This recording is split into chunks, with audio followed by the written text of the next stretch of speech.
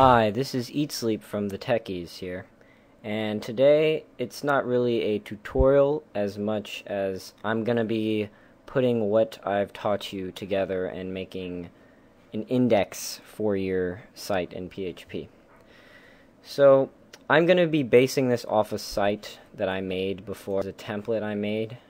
We're to make a header here. We're to make a navigation, a main, and I'm to add another one here. It's going to be uh, for news. So yeah, and it's going to be using include statements and a table. So it's very simple and it's effective, so let's get started. Okay, I'm going to open my WAMP and make a new text document. And I, I pasted this uh, tag here. It's for XHTML. And I put it here because it's easy if I want to embed some HTML or XHTML. I already have it here. So you can just get that off the internet or something, or I'll tell me if you want and I'll email it to you. And we're going to start here by making just a title for the site. And I'm going to name it test site.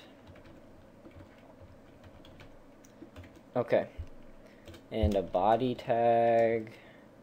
And this is where we're going to make our table. This is the table for the entire site. This is where the whole thing sits in and we want our table width to be 100% because we want it to take up the entire page 100%. Okay, and the border is going to be zero. We don't want to see anything separating the tables. We just want it to be a clean, clean uh, table. So we set that to zero. Now, now inside of our table, um, we use tr for table rows and td for the the def defining each cell for the what what is in it.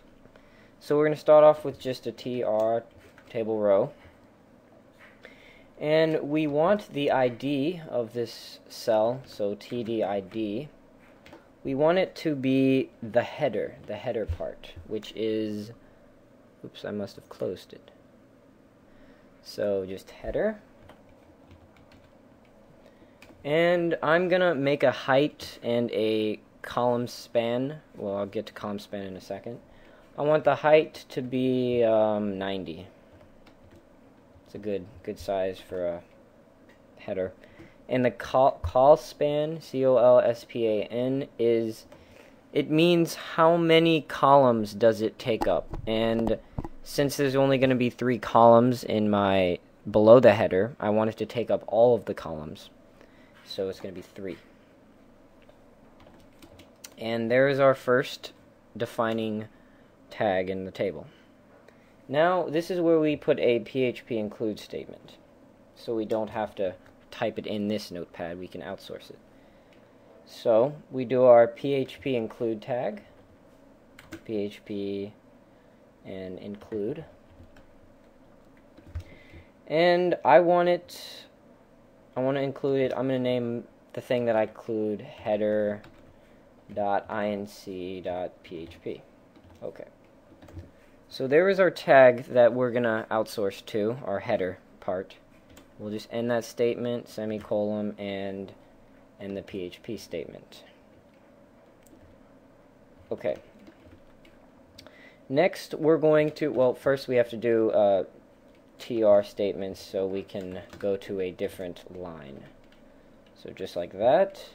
And this one, um, do the same thing, tdid. I want this one to be um, nav, navigation.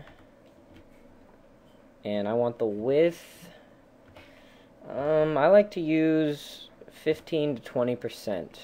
So I'm just going to use 15. No, I'll use 20. Okay, 20%. And I want this to be aligned at the top.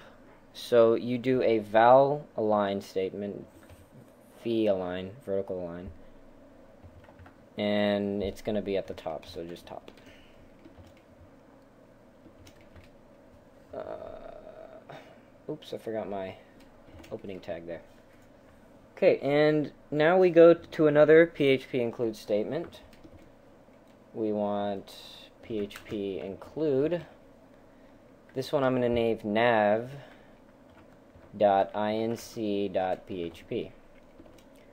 And there is our navigation bar. End it along with ending the PHP statement. Okay. Next is right in the middle is where our main is going to be.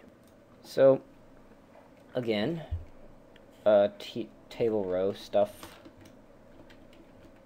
And uh, TDID. This is going to be named main. Width, um, I'm going to put the width at 50%. Yes, no, 55. I'll do 55. 55%. And I want it also to be aligned at the tops.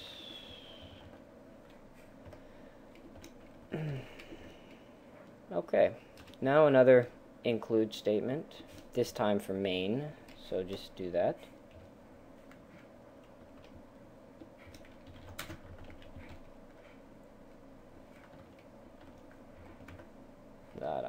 Inc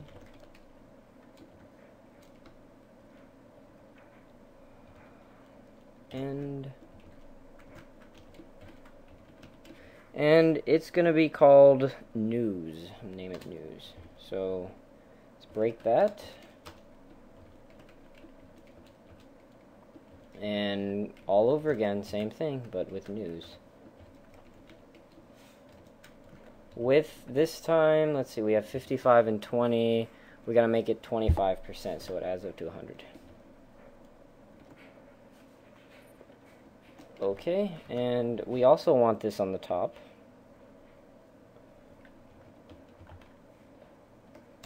Okay. And more PHP include. PHP include is a very, very useful statement, or this would be a giant mess. You could still do it, it would just be a mess.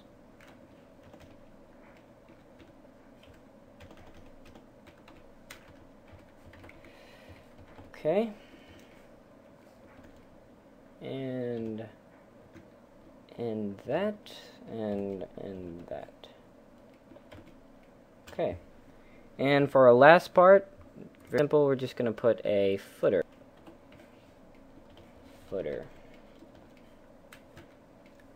Um, I want I want this to cover the entire bottom, just like the header. So I'm going to do a call span, and it's going to be three.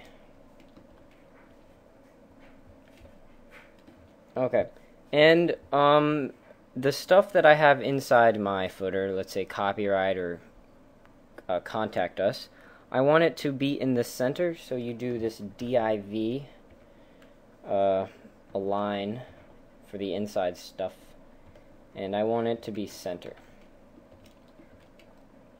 And then we do our PHP include right after that. And footer.inc.php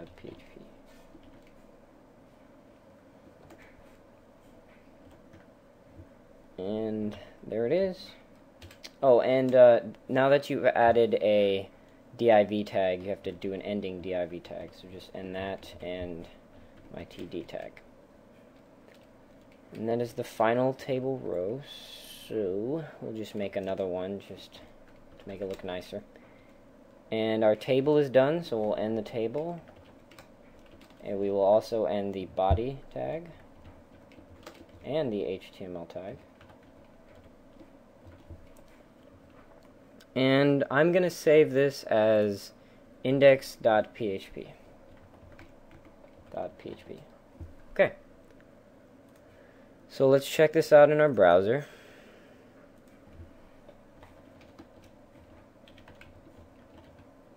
Okay, here, it looks like a giant mess of um, fails, but since we didn't make any uh, or include documents that we had it outsourced to, it just shows up as a bunch of errors. But this is the general, this is what it's supposed to look like.